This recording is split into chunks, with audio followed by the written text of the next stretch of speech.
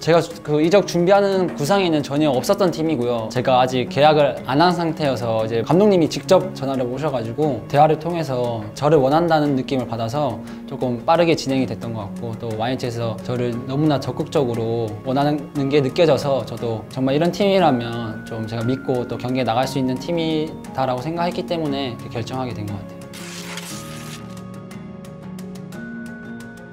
작년 시즌 이제 후반기 때 좋은 성적을 거뒀다라는 그런 말씀을 해주셨고 또 클럽 감독님이나 토요일 감독님이랑 이제 인- 인연이 있고 또 그런 점을 봤을 때 감독님을 믿고 또 뭔가 감독님 밑에서 좀 축구를 배우면 좋을 것 같다라는 생각을 했고 또 감독님께서 자기 구상에 저를 조금 많이 생각하고 있다 그런 말씀을 해주셔가지고 선수로서 또 감독님의 그런 신뢰를 받고 또 그런 기회를 받는다는 것에 있어서 너무나 중요한 한 부분이라고 생각했기 때문에 그런 것이 조금 마음에 들었던 것 같아요.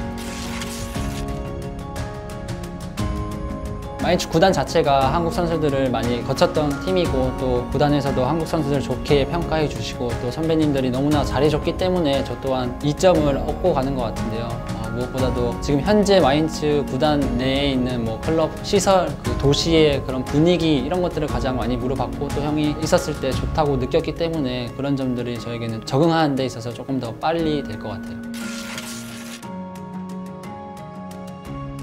이제 킬에 가는 그 순간부터 바로 한 시즌만 뛰고 가겠다 다음 시즌만 가겠다라는 생각을 가지고 있었는데 어, 이렇게 3년을 꽉 채울 줄은 전혀 몰랐고요. 그 3년이라는 시간 동안 경기를 많이 뛰면서 또 독일 문화나 독일 리그에 대한 그런 적응을 참 잘했기 때문에 저로서는 그 킬에서의 시간이 너무나 행복했고 또 첫 유럽 진출의 팀이기 때문에 저에게는 항상 감사한 팀으로 남을 것 같아요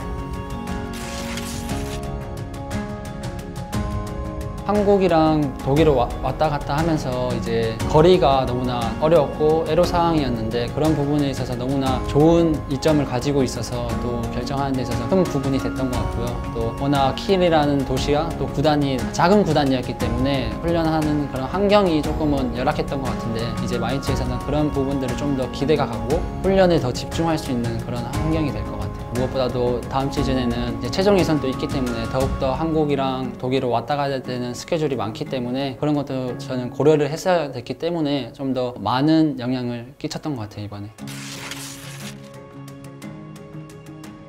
어렸을 때 그런 상상들을 꿈꾸면서 자랐는데 정말 이제야말로 정말 1부 리그에 진출해서 이제 그런 팀들과 매주 경기를 뛰게 되는데 너무나 기대가 크고요. 저도 쟁쟁한 선수들과 함께 겨뤄보면서 더 제 실력을 테스트해보고 더 좋은 선수로 계속해서 발전해 나갈 수 있다는 그런 기대감이 큰 것 같아요.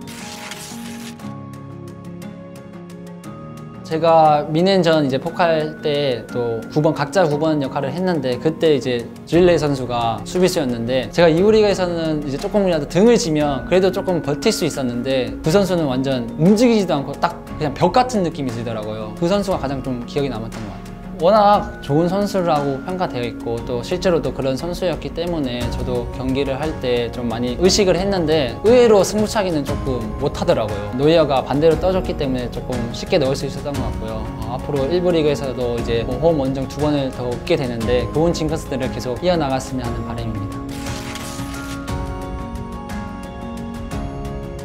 어, 우선 첫 번째로 이제 감독님이 요구하시는 전술적인 움직임이나 우리 동료 선수들의 장단점을 좀 파악하는 게 우선이라고 생각하고 있고요. 팀 분위기에 잘 스며드는 게 가장 첫 번째라고 생각하고 있고 또 무엇보다도 경기에 나서는 게 가장 첫 번째 큰 목표인 것 같고요. 그러다 보면 또 제가 가진 장점들을 많이 보여줄 수 있을 것 같아요. 다음 시즌 또 분데스리가의 선수, 한국 선수들이 뭐 희찬이랑 저 우영이가 있는데 작년 시즌에 조금 많이 부족했다라고 생각할 수 있기 때문에 올 시즌에는 서로 대신 힘을 합쳐서 좀 더 많은 팬분들이 분데스리가를 좀 즐길 수 있도록 어, 저희들이 열심히 해야 될 것 같아요.